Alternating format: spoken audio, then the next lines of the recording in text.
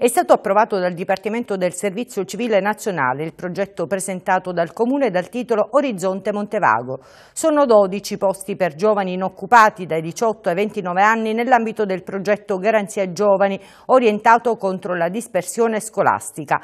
Ne ha dato notizia il sindaco di Montevago Margherita La Roccarruvolo.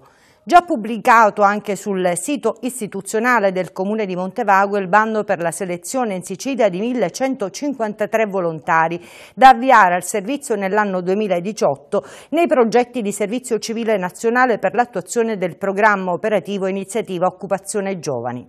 I giovani devono essere iscritti al programma Garanzia Giovani, avere sottoscritto il patto di servizio ed essere stati presi in carico dal Centro per l'impiego servizio competente. La durata del servizio è di 12 mesi. Ai volontari in servizio civile spetta un assegno mensile di 433 euro. I pagamenti sono effettuati a partire dalla conclusione del terzo mese di servizio. È possibile però presentare una sola domanda di partecipazione per un unico progetto di servizio civile nazionale da scegliere tra quelli inseriti nel bando. La domanda di partecipazione deve essere indirizzata direttamente all'ente che realizza il progetto prescelto e deve pervenire allo stesso entro e non oltre le ore 14 del 20 luglio prossimo.